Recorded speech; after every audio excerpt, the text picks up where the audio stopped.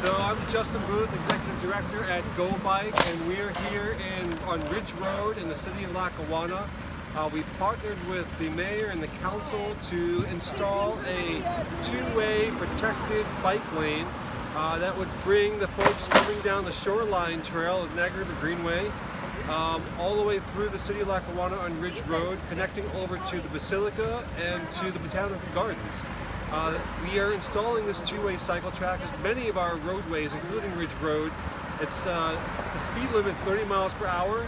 uh, but cars go way faster. With the truck traffic, it's a lot of noise, and so a lot of the businesses were asking for calming the traffic and reducing the noise. And so this is a great opportunity for us to demonstrate how reallocating the space on the streets here in the city of Lackawanna on Ridge Road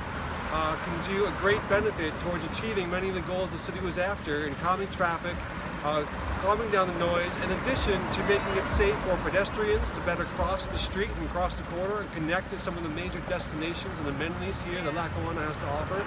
as well as making it safer for cyclists. Uh, the two-way protected cycle track is designed to encourage more people to come out and ride it. Studies show that up to 70% of the population would ride their bikes more often if they're physically separated from traffic.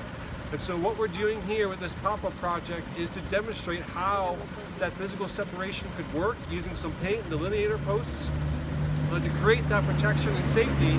uh, and make that great connection from uh, the waterfront through the city and to not only to uh, the destinations that are there, but also uh, as GObike works on the proposed Southern Tier Trail that would go all the way down to Cattaraugus County, would begin here in the city of Lackawanna and continue south to Cattaraugus County and up to the Genesee Valley River Greenway.